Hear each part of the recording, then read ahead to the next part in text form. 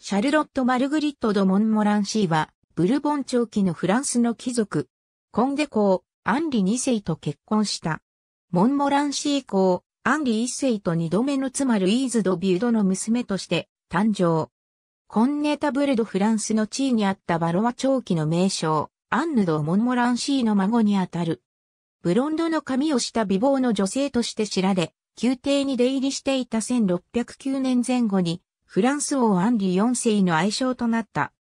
しかしシャルロットは40歳以上と周囲の王を嫌い、夫のコンデ公、アンリ2世と共に彼の所領へ逃亡した。その後シャルロットは王からの召喚に応じず、1610年にアンリ4世が急死したのはシャルロットを年がいもなく追い回したためだと噂された。要望が醜かったと言われる夫アンリ2世との夫婦仲は良好であった。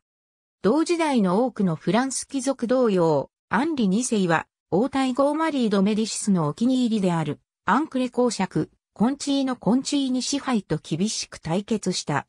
1616年9月、アンリ2世とシャルロットは逮捕され、バンセンヌ城に投獄された。夫妻の長女アンヌは、夫妻が投獄中に生まれた。1632年、シャルロットの実弟であるモンモランシー公、アンリ2世がリシュリューに対する陰謀を企んだとして処刑されたため、シャルロットはモンモランシー行為を継承した。その後、モンモランシー行為はコンデクゲの称号の一つとなった。ありがとうございます。